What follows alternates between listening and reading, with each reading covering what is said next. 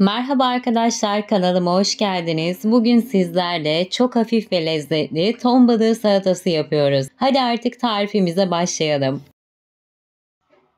Öncelikle 7-8 adet marulumuzu doğruyoruz. Çok küçük olmayacak şekilde doğramamız yeterli. Ve bir tutam maydanozu da ince ince kıyıyoruz. 6 adet şeri domatesim var. Hepsini 4'e bölüyorum ve doğrama işlemimiz bitti.